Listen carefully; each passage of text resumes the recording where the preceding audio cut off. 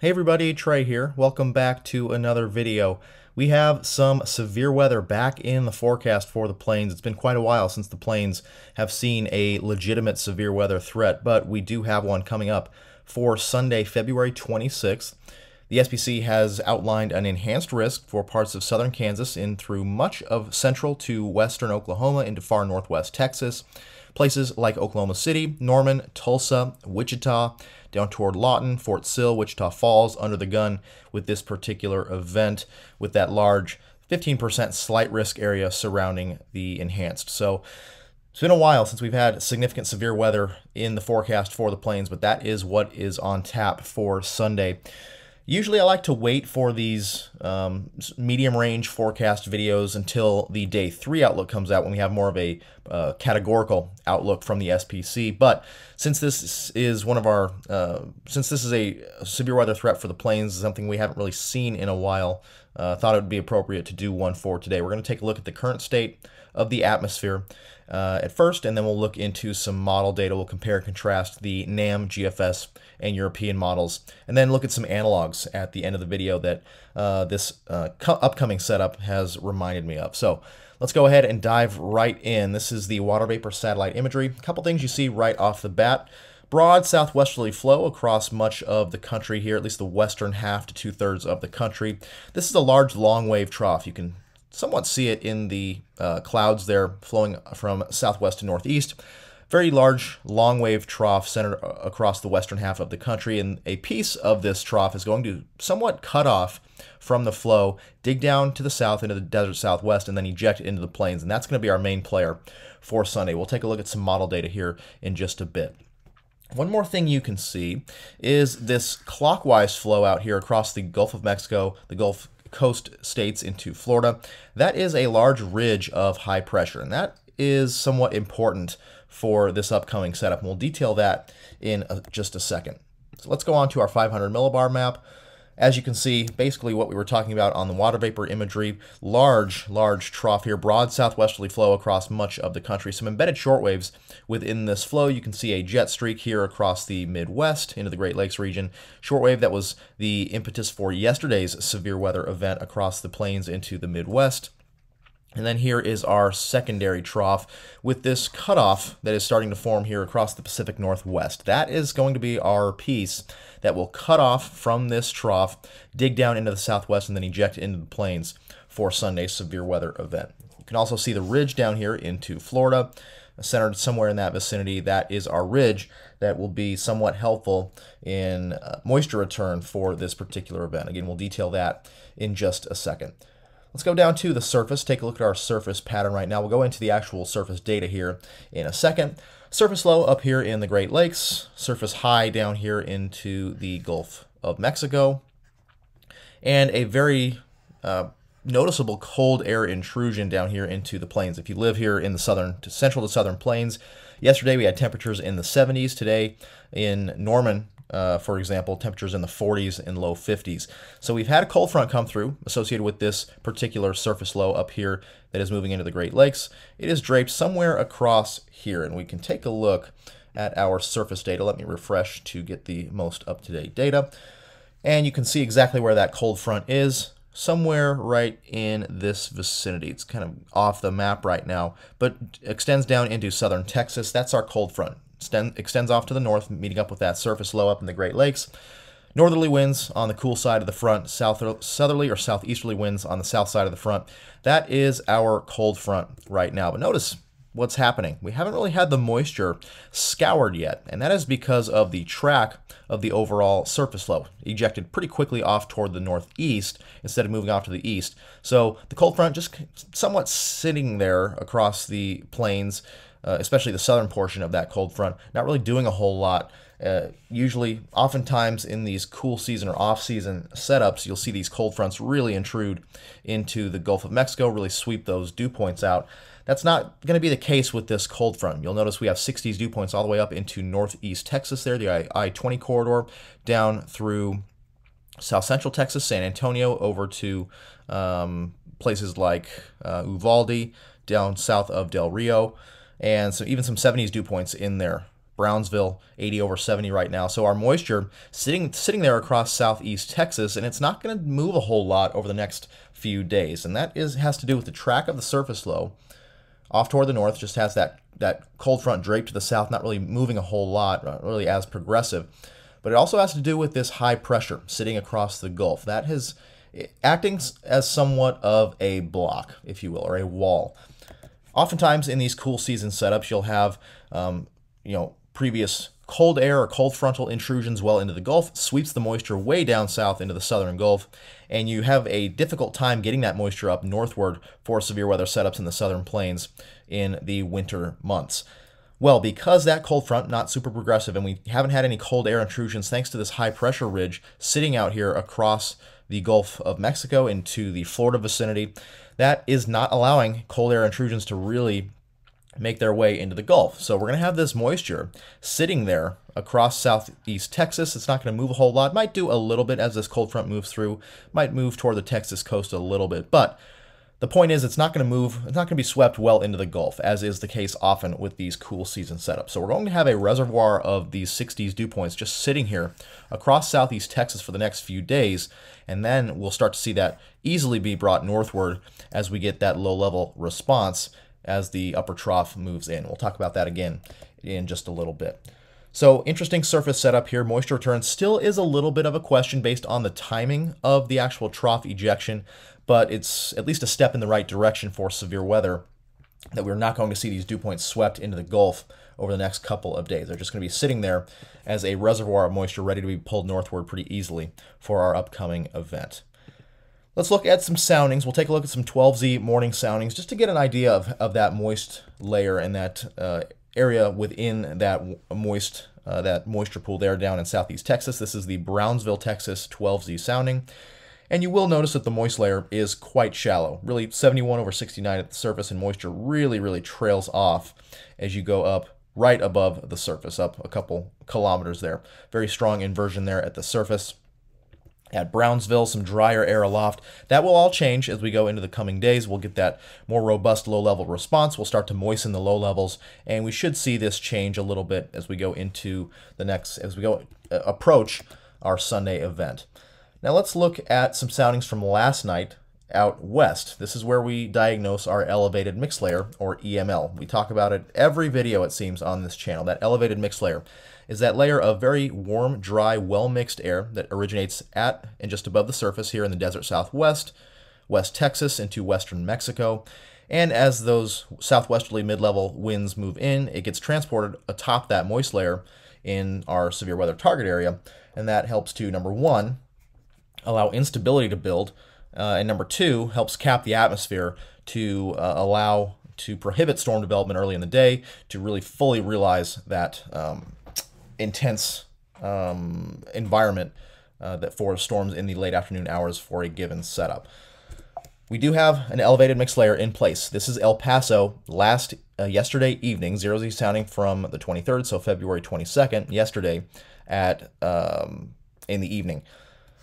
Look at that mix layer there near the surface. Very strong inverted V profiles. Dew point there at the surface at 28. Very steep lapse rates here. You can even see what we call a super adiabatic layer. That means the uh, lapse rates in that li this little section there before it kinks up, up like that, that is a super adiabatic layer. That means the, there's been such intense surface heating that the lapse rates in that small layer have exceeded dry adiabatic, our dry adiabatic lapse rate, which is about 9.8 degrees Celsius per kilometer. So very, very strong lapse rates there in the, in the low levels, in this, especially within this entire layer. And that is pretty much the same that we're seeing across this region. We'll go into western Mexico, even deeper elevated mix, even deeper mix layer there, extending up from the surface, dew point at point 36 at the surface, dropping off very rapidly there at that station in western Mexico. We go to Midland, much of the same thing, and Del Rio. Very impressive uh, mix layer there, 93 over 23, very dry air, well mixed air, well mixed layer here. So this should give us some clues that we'll have some sort of elevated mixed layer transported across this region to help cap the atmosphere for much of the day on Sunday. Shouldn't be a problem getting that elevated mixed layer in to this particular, uh, to our particular target area for Sunday. So let's look at some model data now. This We're going to look, as we always do with these medium range forecasts, at three different models, the NAM, the GFS, and the euro. The GFS, uh, let me get back to the um, 500 millibar map. The NAM is the 84 hour NAM. I don't like using the NAM at this range. It tends to be a little bit wonky and uh, just at first glance, uh, looking at some of this NAM data, it is a little bit wonky. We'll talk about that in a second. But our Euro, our Euro model data is going to come from our 6Z run, as that is the most recent run of the Euro. The 12Z run, unfortunately, not quite in yet. But still shouldn't be too many appreciable changes with the data from 6Z to 12Z. So we'll look at that 6Z Euro and the 12Z NAM and the 12Z GFS. So let's start with the NAM. Pretty good initialization here long wave trough centered across much of the country, little short wave up here into the Midwest and Great Lakes region with that high pressure ridge built in across the Florida vicinity. So what's going to happen over the next couple days, you'll, and you'll start to see right on the left side of the image here. This is our little closed contour up here. That is the piece that's going to break off and dig down into the de desert southwest and be our player for Sunday. So watch the progression here. It starts to dig down off the California coast and really take on a negative tilt as it moves into the desert southwest by Saturday into Sunday. Now notice the timing here already. This is this this is Sunday afternoon. This is midday Sunday, and the trough still lagging back a little bit out here across Arizona into New Mexico. So what does that mean? Well, as we know, when we have southwesterly flow traversing the Rockies, you get lee cyclogenesis. A low-level cyclone will develop on the east side of the Rockies, somewhere in southeast Colorado, northeast New Mexico.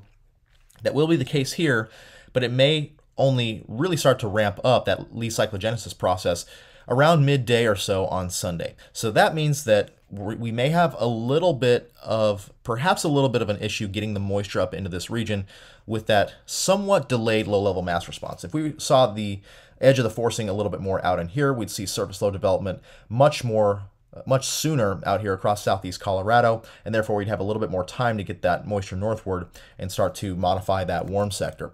Because of the timing here, we may have a little bit there's still a little bit of a question as far as when that will take place and, and if that will be enough to really advect that strong moisture in by the time this event gets underway. But again, because we have those 60s dew points, that robust moisture that's not going to move a whole lot from southeast Texas, that's just kind of sitting there and will be somewhat easily pulled up once that low-level cyclogenesis, that low-level response begins.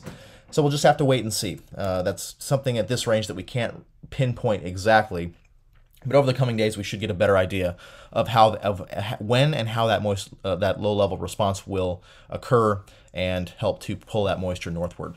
But in any case, very strong looking trough. This is about as classic of a look for severe weather in the central and southern plains as it gets. Very strong trough, compact, somewhat compact, strong trough ejecting into the plains. Takes on a little bit of a neutral or even negative tilt by 0Z Monday. So this is Sunday evening. And you'll see that the forcing by this time clearly within that target area. So we should have storm development sometime in the late afternoon hours on uh, Sunday, given the timing, at least with this particular model. So let's go ahead and stop it at 18Z. We'll look at the GFS 500 millibar map now. Same initializations looking good there. That cutoff starts to dig down into the desert southwest, closed contours there. And this is 18Z Sunday. So let's see and compare it with the NAM run.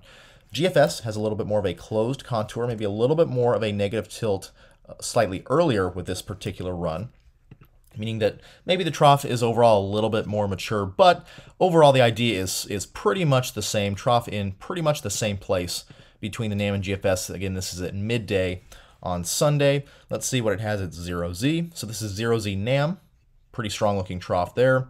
0Z GFS. So just a, a slight change in maybe the overall orientation uh, and construction of the trough, a little bit more negatively tilted trough there with a closed contour across northern New Mexico as the NAM is more of an open wave. Still strong flow rounding the base of that trough and really shouldn't be too much of a difference as far as the impacts on severe weather between these two runs. Let's take a look at the Euro now. Once again, very good initialization. Cutoff low digs down across the California coast into the desert southwest. This is 18Z on Sunday, so midday Sunday. We'll compare the NAM, GFS, and the Euro. The Euro looks to be uh, just slightly more progressive. You'll notice that the center of the trough, at least on the GFS back here, across northwest Arizona. Um, on the Euro, a little bit farther to the east. Not really uh, significant at this point, I don't think. May have just some slight implications on the timing of things. That you'll notice that the forcing perhaps is ejecting a little bit sooner into the plains. That may be a little bit earlier start to storm initiation versus the NAM and the GFS. But again, we're still three full days out from this event. So these we're going to see these little differences, and these will um, work themselves out over the coming days. But the Euro looks pretty good, pretty very similar to the other two models. We'll go to forward to zero Z here. And so this is the NAM, GFS, and the Euro. Euro maybe just slightly more progressive, but still a very similar idea to the other two models. So what we do know, very strong trough here at 500 millibars, very favorable for severe weather, strong diffluence aloft. We'll just take a quick peek at the 250 millibar map for that, and uh, you'll see fairly strong diffluence aloft. Again, the diffluence is the spreading apart of those wind vectors at the upper levels of the atmosphere, creates a void. Mother Nature doesn't like that, so tries to uh, compensate by bringing air up from below to help fill that void. So you'll see fairly strong diffluence here across the region uh, wind barbs spreading apart there across this region. So large scale forcing for ascent not going to be an issue with this particular system and a very impressive look, very classic look for severe weather with this trough coming in um, on all three models. Let's take a look now at the surface response. Then we'll go back up to 850 millibars. So let's go back to um, our initialized model runs here. I'll reset back to the surface and we'll go here on the euro. So starting with the NAM, this is the 12Z initialization. You see that cold push, that colder air making its way down into the northern plains states, down into even Kansas and Oklahoma. Um, south of that cold front, you'll see our surface low up here in the Great Lakes vicinity with our cold front draped to the south. So pretty good initializations there with the NAM. Now let's go forward in time. We'll start to see that cold front push southward just a little bit. We'll see that cold air get entrenched here over the next couple of days. But again, that moisture not going to be scoured too much over the next couple of days. So we'll see that cold front doesn't make a lot of, of southward progression. You'll see that warm air stays there across southeast and south Texas. And then by Saturday, you'll notice here we still don't have a strong low-level response, maybe some semblance of very slight surface low development as the outer fringes of that southwesterly flow starts to make their way across the Rockies. But notice we don't have any appreciable surface cyclogenesis until about midday on Sunday. You'll start to see those contours, those isobars start to really um, intensify and, and, contract there across southeast Colorado. And then this is, this is at 21Z, very strong surface low now in place. But notice that it only begins about late morning, midday on Sunday. So once again, that introduces a little bit of a question as far as moisture return goes and how soon that will start to the, the winds will strengthen in the warm sector and back a little bit pulling that moisture northward. Uh, once again i'll keep mentioning it because we have we're not going to sweep those dew points out well into the gulf it will be a little bit easier to get that moisture in place, especially across the Texas Panhandle into Oklahoma. Areas farther north may see a little bit of a struggle to get those more robust dew points, especially for parts of Kansas. But again, that is going to be worked out. The, the fine scale details with that are going to be worked out over the coming days. But strong surface low by 21Z across southeast Colorado, 0Z, very strong surface there along the Kansas Colorado border with very strong backed flow in the open warm sector. Let's look at the GFS. Same thing here. That cold front doesn't do a whole lot over the coming days. We go into Sunday. We do see some surface low development here on Sunday. That may start to help just ever so slightly bring those, strengthen and back those winds in the warm sector and start to just ever so slightly bring the, that moisture northward overnight Saturday into Sunday. But the real surface cyclogenesis is not going to take place until mid, about midday on Sunday. You'll see with the GFS a little bit stronger response maybe with the surface low development there by midday Sunday. We go into go towards zero Z, and you start to see that really consolidate there in southeast Colorado, moving off into uh, eastern Kansas by zero Z. Cold front draped down there across the central te Texas Panhandle into the Texas South Plains. So that is going to be. Uh, we'll compare this with the NAM here. NAM is a little bit less progressive maybe with the surface low, but overall the the, the same idea. Surface low centered somewhere there in, in the Kansas-Colorado border region with cold front draped down to the south within that pressure tongue that goes through the Texas Panhandle. Very similar setup here for and a, a pretty classic one for severe weather on the plains. Now let's go forward on the on the Euro model. Same thing here, a little bit of a surface low there developing in southeast Colorado Saturday afternoon into evening, but robust cyclogenesis there across eastern Colorado on uh, Sunday afternoon. A little bit different positioning, maybe. Euro is maybe slightly farther north with the overall uh, center of the surface low, maybe a little bit farther east with the cold front. You see the cold front is, is here in the eastern Texas panhandle, whereas with the other models, it's a little bit farther back here. This is the GFS, a little bit farther back here into the central Texas panhandle. So once again, some slight differences in the overall surface pattern here, uh, but those will be worked out over the coming days, as we uh, continue to say. Now let's look at dew points. Unfortunately, the European model does not have um, dew points on this particular model site, College of DuPage, but we can look at surface theta E that might help us. Again, theta E is simply a calculation of the energy of an air mass. It takes into account the temperature and the moisture co content of an air mass. So it's a decent measure of quote unquote the juiciness uh, of uh, a particular air mass. So we can look at that as a proxy for uh, low level uh, energy of the air mass. So let me actually zoom in down here to the southern plain sector. That might give us a little bit better view with these, and then we will take a look at the progression of the low level moisture. So this is the 12Z NAM. Notice that moisture is still sitting there across southeast Texas. That cold front is right in this vicinity. And so over the coming days, it does move south a little bit, but you'll notice those dark blue colors, those upper mid upper 60s dew points, don't go that far. They still stay across the southeast Texas coast into southeast Texas. And then we do see a little bit of a northward advance Saturday afternoon into Sunday evening as we do get a little surface low development up there in southeast Colorado on Saturday afternoon. That will continue into uh, Sunday, and you'll notice here between 12Z and 18Z that moisture really starts to jump. Now at 12Z, our moisture, our 60s dew point still down in here, and for a typical severe weather event, you like to see them pretty much already in your target area the morning of the event. So this is going to be somewhat just-in-time moisture, and once again, this these details will work themselves out, how strong and fast that surface low develops on Sunday to start pulling that moisture northward. But you can see when that surface low really starts to develop, about 18Z, really starts to pull that moisture northward. This is 21Z, this is 0Z on the NAM. Now, this is a pretty big outlier. This is where the models really start to diverge. Let's take a look at the GFS. GFS does the same thing, keeps those 60s dew points, doesn't quite scour them out as much into the Texas coast, still keeps those 60s dew points on land by Friday evening into Saturday. And you'll see we have a pretty good reservoir of 60s dew points up there, even by Saturday morning, um, just kind of sitting there across southeast and south Texas. Moving on, you'll notice by Sunday, by Saturday evening, those 60s dew points all the way up into northeast to central Texas. Much, much different. Let's compare that to where the NAM was on Saturday evening.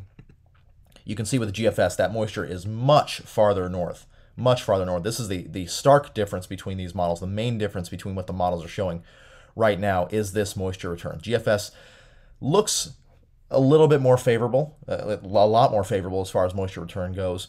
And I do have a hard time believing the NAM, especially at this range. It does have some issues with the moisture return. does seem to be a little bit um, little bit lagging with moisture return at these at this range uh, with the NAM. So perhaps a middle ground between the NAM and the GFS is in order. GFS here. Let's take a look at the Euro just to see how it's doing. Those reds and yellows are going reds, oranges, and yellows are going to be your most juicy air.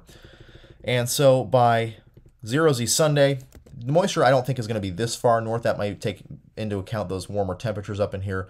But you'll see it's much, this, this plume of higher theta E air is much farther north here than what the NAM would show. I believe the NAM does have theta E here at the surface. And you can see that, that moisture is still way down south on the NAM eh, if we look at theta E as opposed to the Euro, which is much, much farther north. So I have a tendency to believe the NAM is a little bit of an outlier in this situation. I think it's going to be one, as far as moisture return goes, that we'll throw out for the time being. And I say that because we're going to have that cold that cold front's not going to sweep the dew points into the Gulf nearly as much as normal.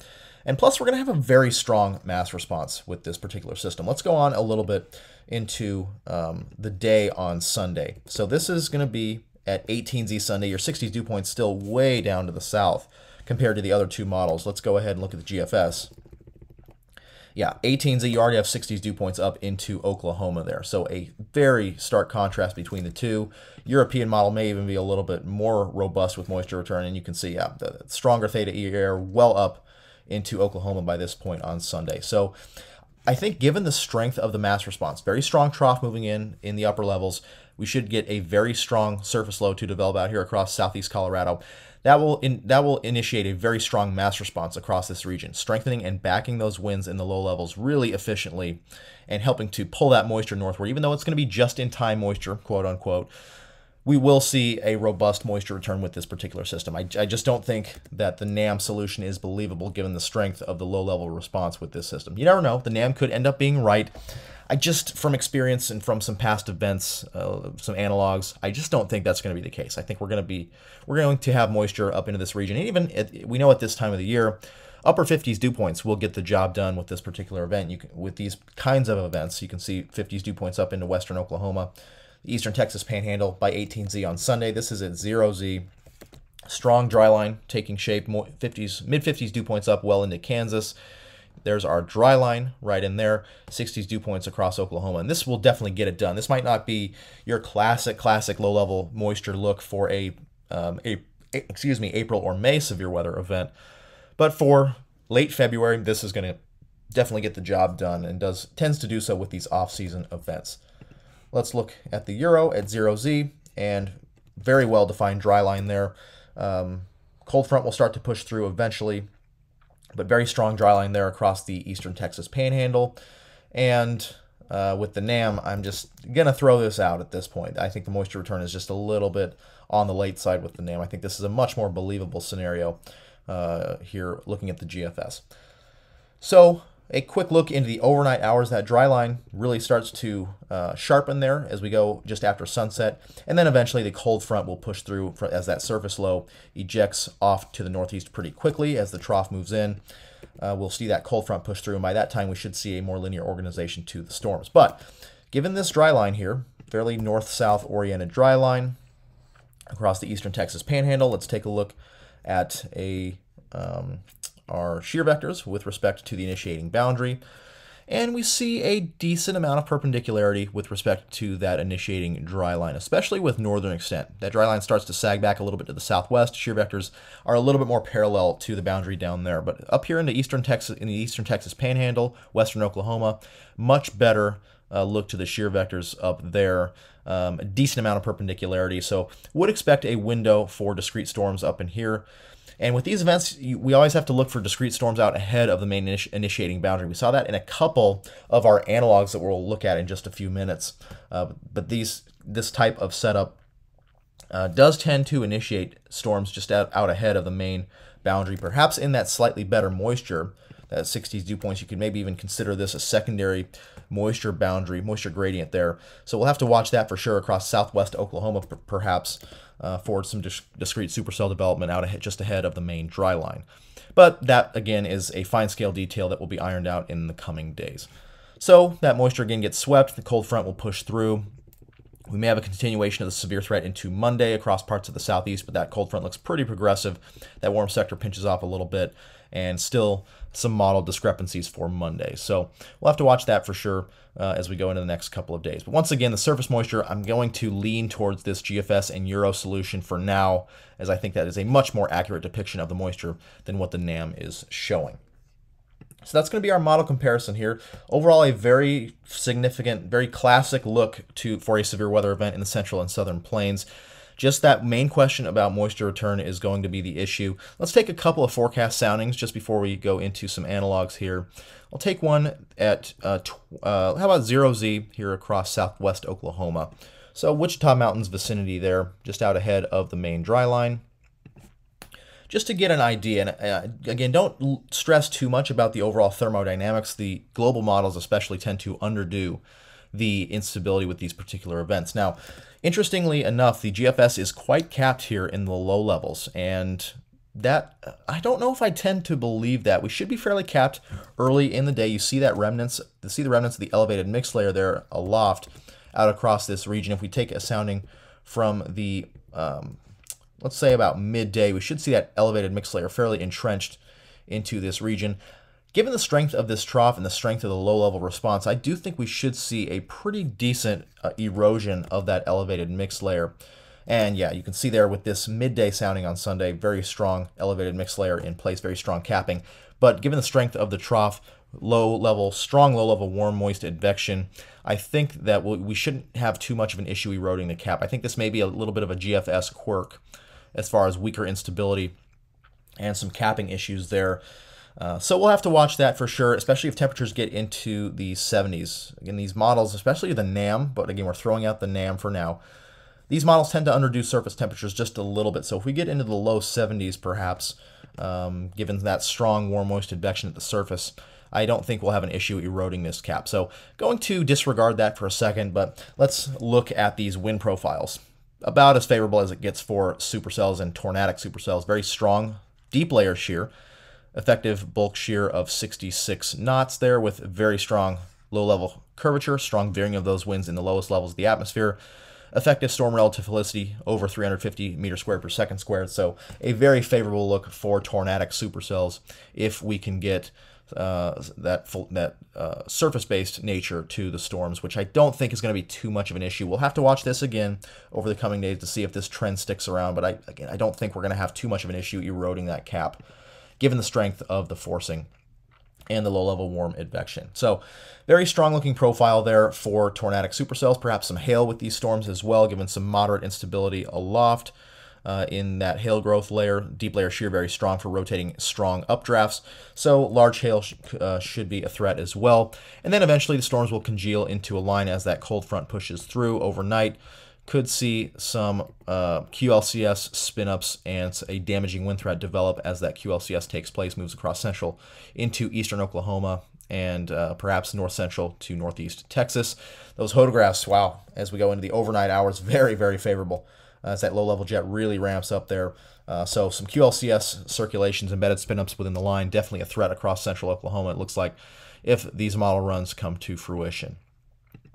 So this is a graphic here from the CIPS. This is uses some analogs, analog-based severe weather guidance gives us a probability for severe within 110 kilometers of a grid point. This is one of the more recent model runs, and you see they have a similar look to the SPC, a little bit farther west though, and that is a trend that tends to happen with these events. The models, these trough ejections tend to slow down just a tad from what the models are showing. So I would not be surprised to see this area shift back a little bit toward the west. We see this enhanced come more into the Texas Panhandle and have this portion of the eastern Texas Panhandle a little, a little bit more under the gun um, over the next few outlooks. But we'll have to wait and see as far as that goes. But you can see, based on some historical analogs, severe weather is a likelihood with these type of events. Let's go into some specific analogs. The first one that came to mind for me was November 16th, 2015. This was um, an off season, obviously a, a cold season outbreak across the central to southern plains enhanced risk here. And just to go back to our point about shifting, uh, the these threats shifting, the day four outlook, this was our day four outlook right here across central Texas into southern Oklahoma. And by day one, we had that slight risk all the way into the central Texas panhandle, enhanced risk out here well to the west and northwest of what initially was showing. That trough slowed down a little bit, and we got a pretty significant tornado outbreak across the northern Texas panhandle and southwest Kansas from some discrete supercells here with that particular event. Let's look at some data, and you'll see that some similarities right away in this particular event. This is 500 millibars, very strong trough, somewhat of a cutoff, closed circulation there. This is 0Z on uh, the evening of November 16th, 2015. Strong trough there centered across the Four Corners region. Strong flow rounding the base of that trough. Strong upper diffluence as well. So um, all in all, a very similar look to what we were seeing. Let me go to the GFS solution at 500 millibars here and back out just a tad to the CONUS sector. And so this is 0Z, very similar look. You can see that the GFS, the models are showing a little bit more maybe of a negative tilt to the, our upcoming events trough, but overall a very similar look here with these two events at 500 millibars. Um, so this is something, this is upper upper pattern, something we've certainly seen before with these uh, some of these off-season events, uh, significant events at that. We'll go down to 850 millibars here. Let me go back to our OBS. Go down to 850. And you'll see at the start of the day, not really a well-defined circulation here in the low levels. We, it, we waited a little bit to really see that low-level jet and low-level response take place. But by late afternoon, early evening, it's very strong low-level jet in place across this region. Consolid very, very strong consolidation in those 850 millibar height contours there. Very similar to what we're seeing with this particular event. A little bit later, low-level response given the timing of the ejection of the trough. And that may uh, have some impacts on the overall timing with our November 16th event, our 2015 event. Storms didn't really get going until right at, at about sunset to just after dark there. But you'll notice here with our upcoming event, this is the GFS, that low-level jet doesn't really start to ramp up until the late afternoon to early evening hours there um, across the southern plains and very similar look here with our November 15th, uh, 2015 event. Surface pattern going to be similar as well. Let's pull that up. Once again, the surface low starts to really take shape there by, by about, by about midday or so, and very elongated surface low there across the region. Um, similar to what we're seeing with this particular event, maybe a little bit farther south and southwest of our upcoming event, but again, that could change over the coming days. Overall, very similar looking event. We'll go to our radar here, and once again, notice that we have some discrete supercells firing well ahead of our main line that's getting its act together here, western Texas panhandle up into southeast Colorado and western Kansas. Numerous discrete supercells well ahead of the line, given that strong forcing, fairly uncapped warm sector there um, for supercells. So that'll be something to watch and is somewhat of a hallmark with these events. Happens just happens quite a bit out here in these events. And if we look at our surface observations, you'll notice at 20, we'll go to 0Z here, our cold front, our main boundary is somewhere back in here. You see the wind shift there. Storms, the discrete storms fire just ahead of that, that dry line slash cold front, Pacific front, whatever you want to call it. So definitely going to have to watch that in our Sunday event, as that is somewhat of a hallmark, as I said, with these types of events. Another uh, analog that comes to mind, March 28th, 2007, had a large moderate risk with a broad area of tornado threat uh, from all the way up into Nebraska down to South Texas. Now, not quite as widespread of a risk for our Sunday event, but a very similar look to the overall upper pattern. This is 12Z, this is 0Z. Very similar pattern to our November 5th, 2015 event and our upcoming event. A little bit more positive tilt to this trough, but again, the overall idea is the same. Trough center near the four corners and strong flow rounding the base of that trough, strong uh, divergence aloft there in the upper levels of the atmosphere. And we go to 850. This one had a little bit more of a low-level jet in place early on, but still very similar look. Elongated low-level jet swath there across the panhandle of Texas up to the north into Kansas. And our surface pattern, uh, surface obs, uh, we can look and see our uh, surface low. Surface low going to be somewhere uh, up in northeast Colorado, somewhere in that vicinity with a cold front draped down to the south, cold front slash dry line, and storms fired out ahead of the main boundary. Here's our radar. So our cold front is somewhere back in here, and notice where our storms, our initial discrete supercells fire. Central Texas Panhandle to Texas South Plains, a little bit ahead of the main boundary. And so again, that's going to be something we're, we will have to watch very closely uh, as you see that the supercells that produced multiple tornadoes there across the Texas Panhandle, main line be well behind that. So definitely going to have to watch that as for our Sunday event for sure. Uh, so that's going to wrap things up for this forecast discussion. I'll be back with another discussion likely uh, Sunday morning, uh, the morning of this particular event. Uh, but this looks like a potentially significant event for the plains. Would not uh, again don't really don't take these uh, boundaries, these outlines um, with full reality yet. These are could easily shift. The main thing we, things we know right now is that a, a severe weather event, potentially a significant one, is in the forecast for these areas. So if you're in or even near these areas, Texas Panhandle, to western to central Texas Panhandle, down to, to Lubbock, Midland, keep in mind that these outlines will change over the coming days. But right now we have an enhanced risk, 30% region, from southern Kansas into uh, western and central Oklahoma uh, with a large slight risk surrounding that. So the potential is there for a significant severe weather event with all hazards likely, perhaps initial discrete supercells firing along the dry line, maybe just ahead of the dry line there across far the far southeast Texas panhandle into southwest Oklahoma, looking like the most likely area at this point. Again, that could shift back west a little bit. And then storms will congeal into a line as we move on uh, into the evening hours as that cold front pushes in. One final note, just quickly on the uh, November 2015 event, the uh, a very similar, uh, very similar uh, evolution was forecast. Uh, if you you'll notice here, the convection should evolve into a linear MCS by the evening. Um, initial storms will be discrete. Um, and if we go here into uh, the 1630 outlook, model guidance remains suggestive that a fairly rapid transition to a QLCS will occur this evening. So uh, just as we saw in this event, and we'll go down to the text here, um, a rapid transition to a linear mode is expected as the system pushes east and northeast across Oklahoma and Kansas. So in both cases, there was a forecast for a pretty rapid transition to a linear organization to the storms.